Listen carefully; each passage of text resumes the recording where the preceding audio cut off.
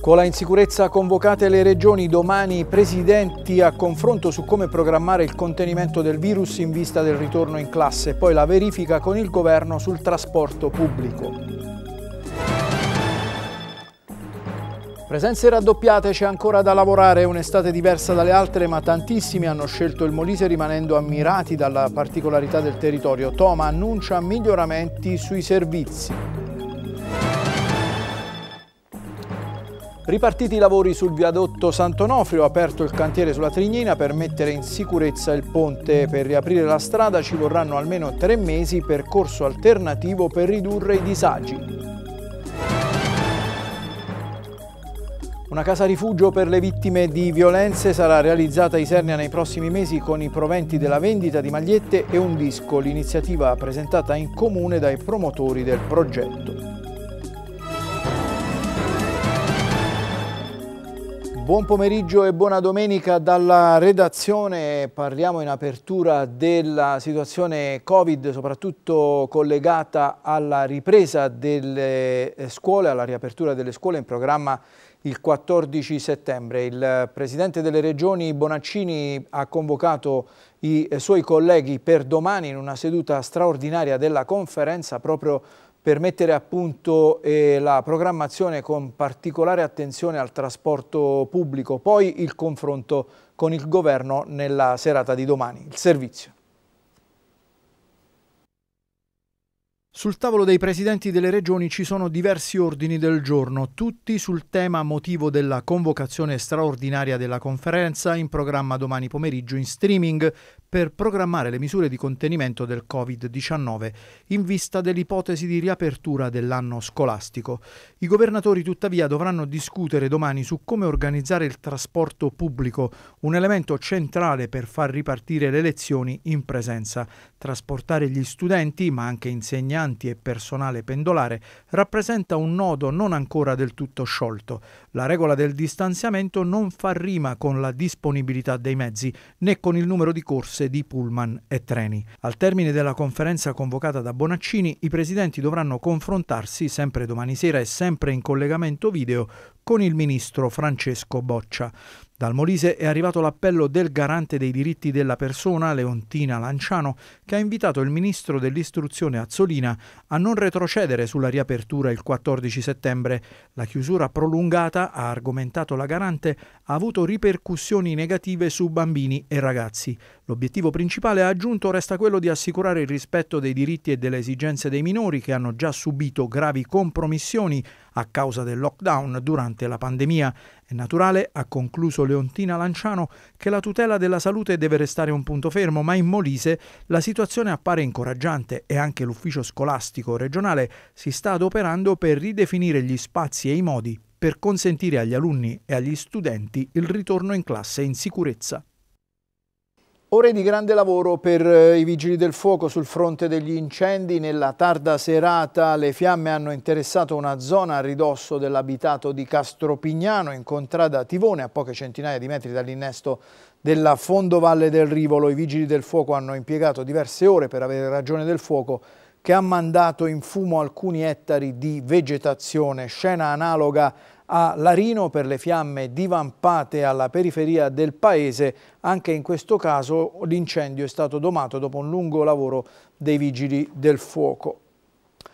Ed è stata un'estate diversa dal solito, lo abbiamo ripetuto tante volte eh, per via dell'emergenza, ma nonostante tutto in Molise sono arrivati tantissimi turisti, quasi raddoppiate le presenze con eh, commenti favorevoli per le particolarità del territorio e le bellezze che eh, sono eh, state eh, trovate sui posti visitati. Abbiamo sentito il governatore Toma che ha ribadito la bontà di quanto è stato fatto ma ha ammesso comunque che ancora c'è tanto da lavorare. Il servizio di Tonino Danese. Un'estate particolare e diversa da tutte le altre, quella di quest'anno, l'emergenza Covid l'ha sicuramente segnata. C'è chi ha scelto vacanze diverse, in molti sono arrivati in Molise alla scoperta della regione che non esiste, se ci si vuole rifare a un tormentone, ma che, bando all'ironia, c'è e come. Tanti gli apprezzamenti in rete, ma non solo, con testimonial anche di eccezione per le sue bellezze paesaggistiche e peculiarità, la cordialità della gente, i cibi, la tranquillità dei borghi, ma sono venute alla luce pure le ombre. Problemi di viabilità, indicazioni per luoghi archeologici e d'arte carenti, questi ultimi in alcuni casi trovati anche chiusi, insomma uno scenario che deve far ragionare e riflettere le istituzioni per programmare il futuro e correggere gli errori. Nulla accade per caso e nulla accade in vano.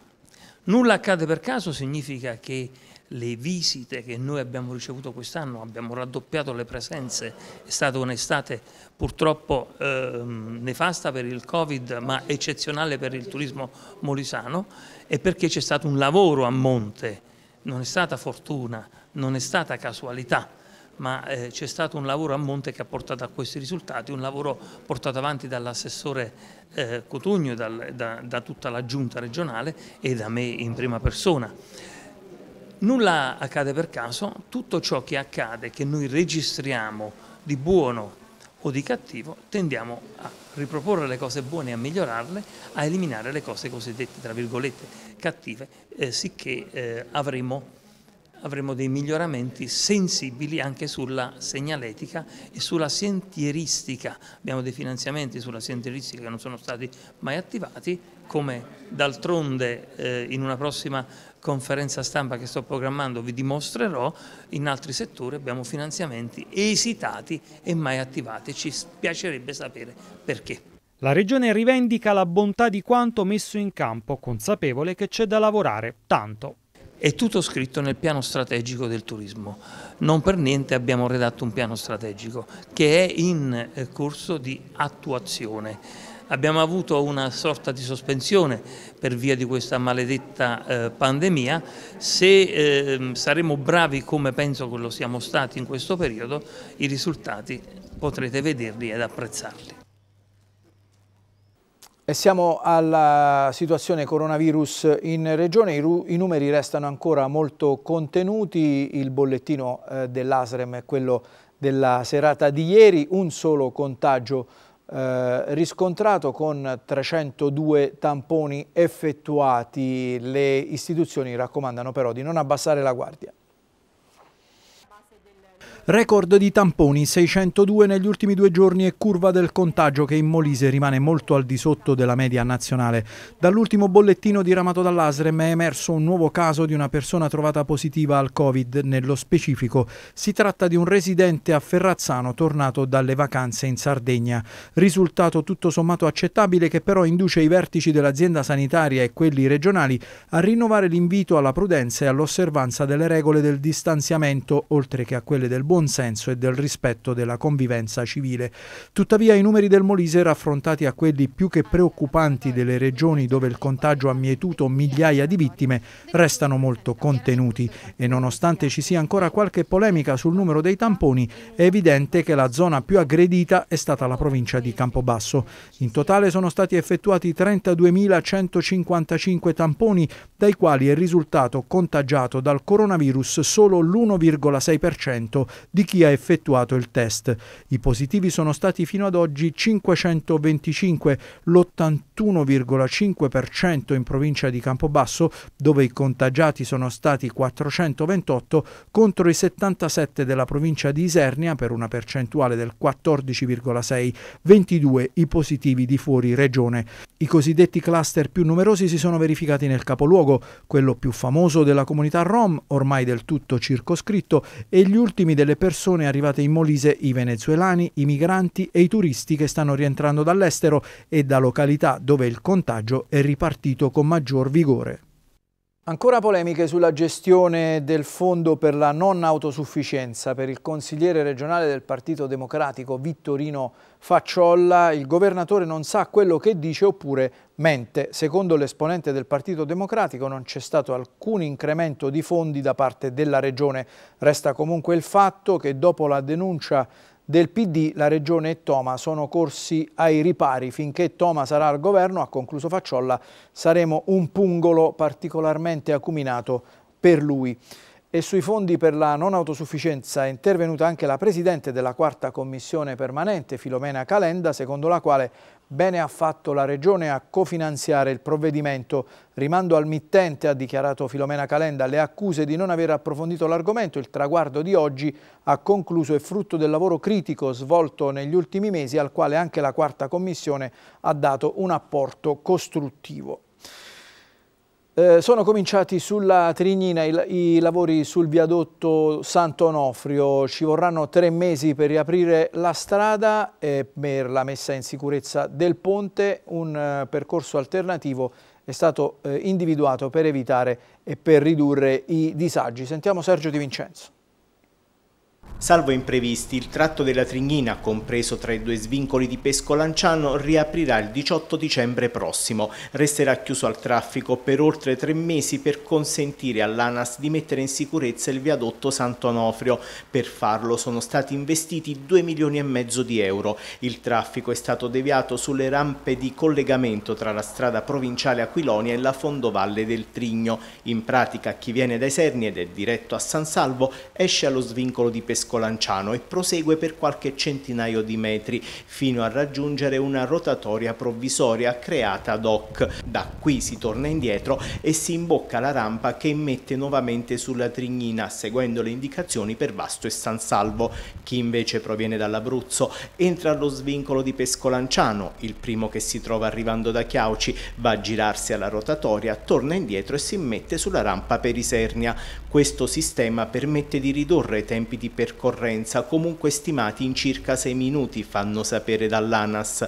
Inevitabile qualche disagio al traffico, ma l'intervento non era più rinviabile. Sono diversi infatti sulla Trignina i viadotti che necessitano di manutenzione, a partire dal Gamberale nel tratto fra Chiauce e Civitanova del Sannio. I lavori di messa in sicurezza, per i quali sono stati stanziati 3 milioni e mezzo di euro, sono a buon punto, ma in questo caso per ridurre al minimo i disagi al traffico si è optato per il restringimento delle carreggiate, consentendo così agli operai di lavorare in sicurezza e alle auto di transitare, seppur a velocità moderata. Tale intervento fu sollecitato in tempi non sospetti da un operaio di Civitanova, Giuseppe Padula. Durante un'escursione notò che i pilastri si stavano sgretolando. I fatti gli hanno dato ragione.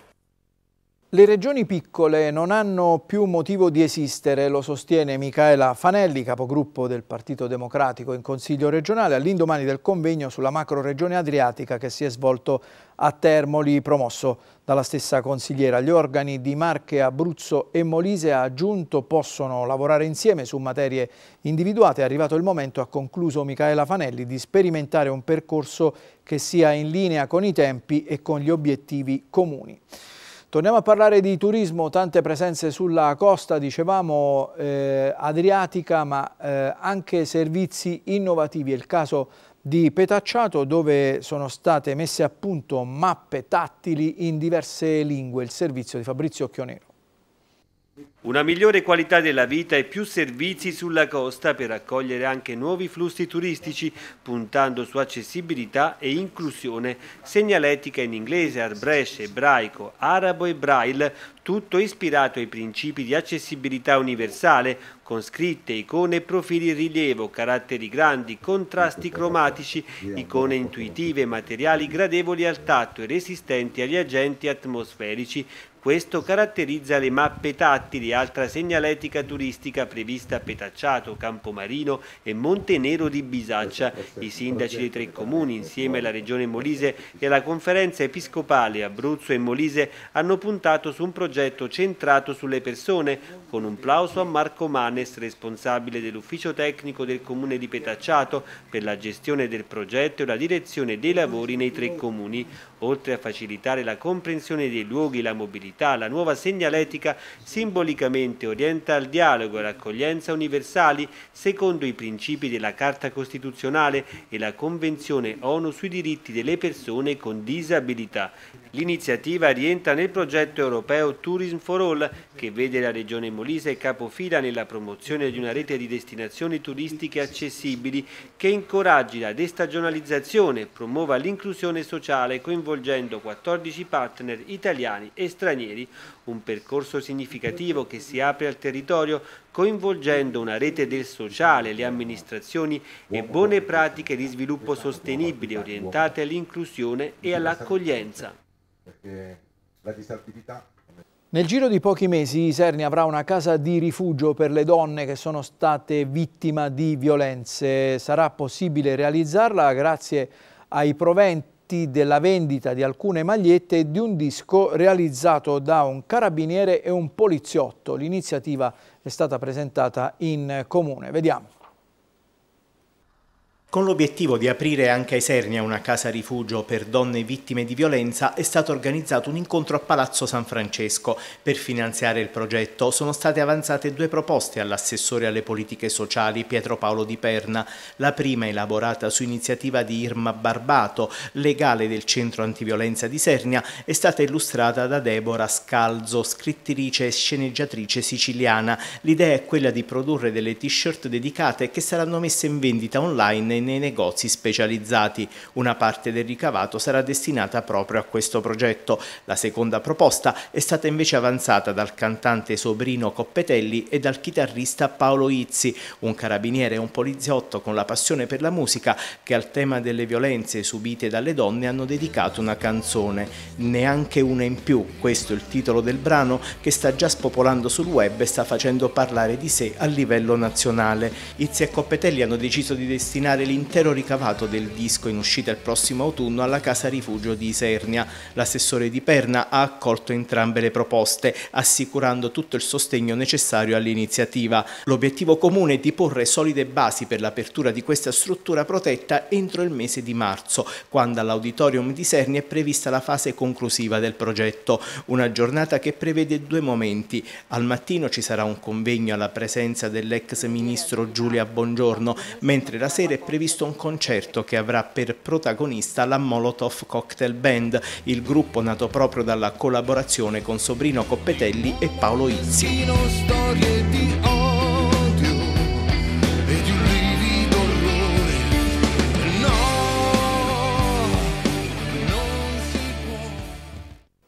Due eventi da ricordare per Guardia Alfiera sono l'illuminazione artistica con un progetto nazionale per la cattedrale di Santa Maria Assunta e la nuova campana dedicata a San Giuseppe. Vediamo il servizio.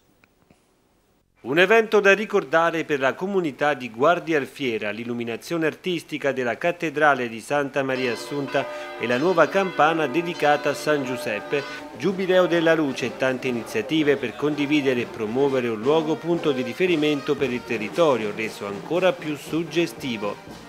Sono veramente contento, è la più bella cosa che abbiamo fatto fino adesso, in questi anni, con la collaborazione di tante persone, sia per realizzare le campane, e sia anche per l'illuminazione artistica splendida ecco, che è stata messa in atto, molto molto significativa. Perché? Perché il suono e la luce creano un'armonia particolare. Un progetto di valorizzazione e illuminazione artistica della cattedrale con il coordinamento dell'Associazione Nazionale Comuni Italiani. Nell'occasione la messa è stata celebrata dal vescovo Gianfranco De Luca, progettista e direttore dei lavori l'architetto Raffaello Gaspari e intervenuta tra gli altri Elisabetta Ricci, possibili visite guidate. Oltre a essere soddisfatto sono molto emozionato, sono venuti gli amici sindaci a trovarci, gli assessori regionali, assessore Nir, Cavaliere, ci è venuto il sottosegretario Castaldi a onorarci della sua presenza a questa inaugurazione bellissima del Giubileo della Luce, un evento che aspettavamo da tanto, illuminare la nostra cattedrale artisticamente è stato qualcosa veramente di eccezionale. Questo è iniziato l'avventura l'anno scorso a giugno quando sono venuto a fare una piccola manutenzione e ho trovato la maniglia della seconda campana del concerto che stava lesionata la maniglia, era pericolosa per la comunità, il paese ha collaborato, si è messo insieme, si è riunito per portare avanti l'opera che poi la Fonderia Marinelli ha compiuto. Impegno e sensibilità per la nuova campana con un comitato costituito per l'iniziativa, come evidenziato da Mario e Remo. Nel momento che abbiamo saputo della rottura della campana vecchia, abbiamo costituito il comitato tra amici e ce l'abbiamo messa tutta. Siamo orgogliosi di, di aver fatto, partecipato eh, all'organizzazione per cimolare i soldi che ci sono voluti e siamo contenti.